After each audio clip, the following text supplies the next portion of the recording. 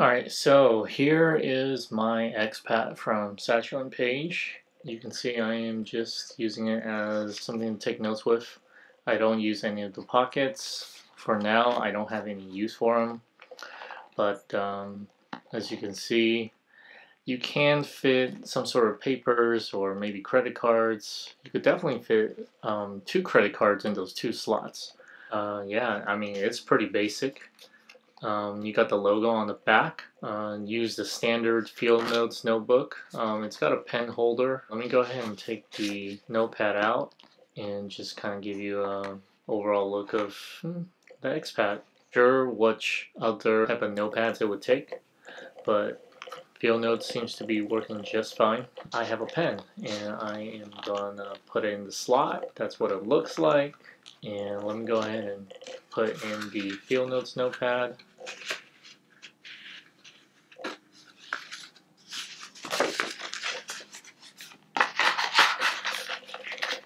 Just like so. As you can see, it's a little bit snug. That's what it looks like. Let me close it. And here is what the profile looks like when you have the book or when you have the notepad and the pen in.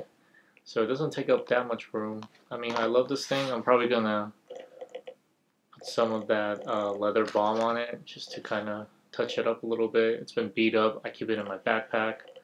So um, Enjoy.